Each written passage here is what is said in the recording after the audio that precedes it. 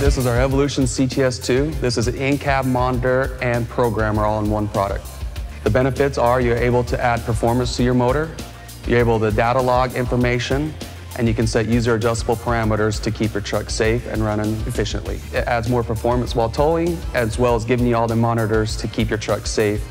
If it's drivability, adds better performance, better throttle response, increases fuel economy, and just a more fun experience. The install of this product is basically mounting the product up on the window, running the cable down to the OB2 port, plugging the OB2 port cable in, and then everything else is done through the screen to program your performance levels.